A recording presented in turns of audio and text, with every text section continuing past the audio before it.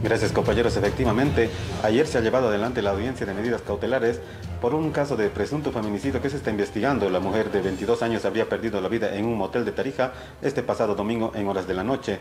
En ese sentido, el CEPDAVI y el Ministerio Público han conseguido la detención preventiva de la persona investigada. Para mayor información nos encontramos con el representante del CEPDAVI en Tarija.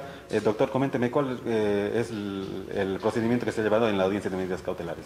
Gracias y buen día a su digna audiencia. Informarles que el Servicio Plurinacional de Asistencia a la Víctima, dependiente del Ministerio de Justicia, ha tomado conocimiento ya desde el día de antes de ayer de un hecho de presunto feminicidio, mismo que eh, nos fuimos a constituir las distintas a, actuaciones que el Ministerio Público en forma diligente ha empezado a realizar, eh, desde inspecciones eh, oculares como también identificación de personas, donde con todos los elementos que se han podido recabar en etapa preliminar, se han eh, podido dar eh, todos esos indicios que en audiencia de medidas cautelares del día de ayer se ha podido eh, fundamentar y demostrar, donde se pudo demostrar lo que son autorías y riesgos procesales.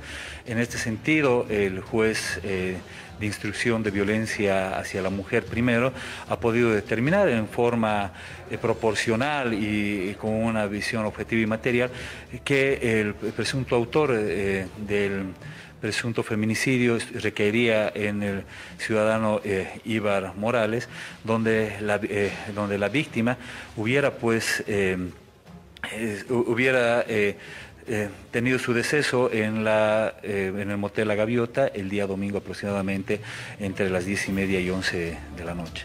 Ahora, ¿qué procede de acuerdo a la investigación que se está realizando?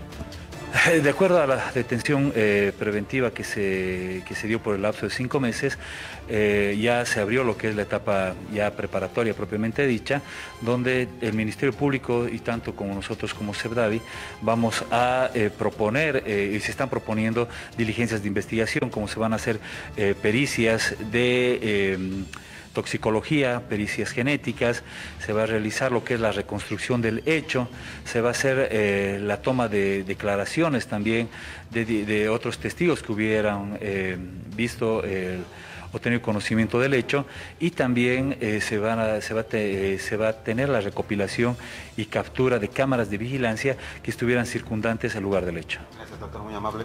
Este es el trabajo que se está desarrollando para investigar este presunto feminicidio que se ha registrado en Tarija. Retornamos con más información a este Estudios Centrales.